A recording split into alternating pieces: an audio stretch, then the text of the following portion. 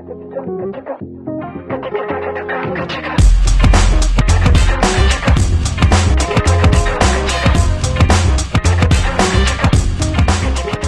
här är Sauconys Endorphin Pro 2. Eh, det är deras eh, värstingtävlingssko.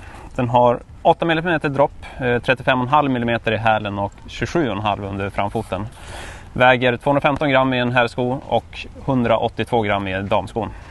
Det som framförallt har hänt med version 2 jämfört med föregångaren det är ju att ovandelen är lite uppdaterad. Då. Eh, Hälkappan är ju lite, lika mjuk och härlig som jag tyckte att den var på den första skon men de har tajtat till det lite grann och den låser lite bättre runt hälen egentligen. Då.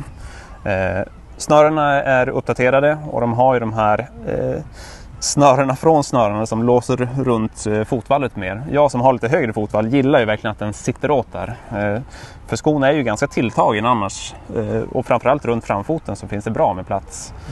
Så att det är en bra förbättring jämfört med föregångaren. Jag, jag, upplever ju den också väldigt skön i passformen. Jag som har en bred framfot får ordentligt med plats. Eh, jag kanske inte märker så stor skillnad just för att jag har över mellan version 1 och 2 just för att över mellanfoten så, så satt den första bra på mig.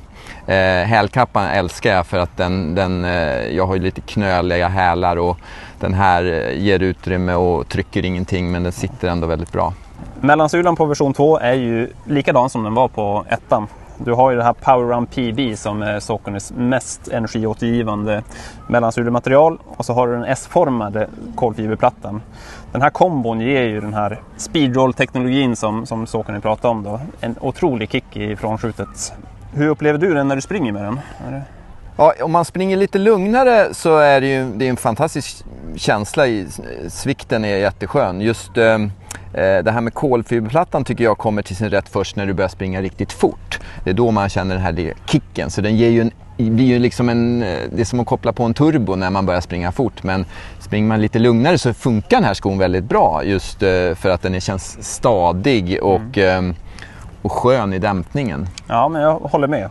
Om du jämför med speeden då, vad, vad, hur upplever du skillnaden mellan speeden och, och pron? Eh, framförallt när man springer fort, när man går upp i steget och den, den här ger ju mer rekyl tillbaks. Ja. Man känner av den här, just att det är kolfiberplattan. Jag tycker den inte märks lika tydligt i speed. Nej.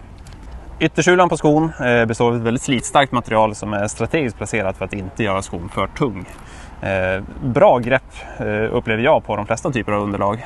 Ja, jag håller med. Den här skon eh, ger jättebra grepp på både grusväg och asfalt och även när det regnar lite grann. Eh, det här är ju en tävlingssko men jag måste erkänna att den här åker på faktiskt när jag kör vissa distanspass och jag har kompisar som springer i den också. Eh, just för att den är så, ja, den är ganska mångsidig. Den är lätt och ändå känns ganska stadig för att vara den här typen av tävlingssko? Eh, jag använder faktiskt den här skon mer som tävlingssko, ren tävlingssko. Snabbare intervallpass såklart också. Eh, jag föredrar en lite stabilare sko när jag kör mina distanspass. Men eh, jag vet att många i träningsgruppen använder den som allround-sko och kör den på distanspassen också.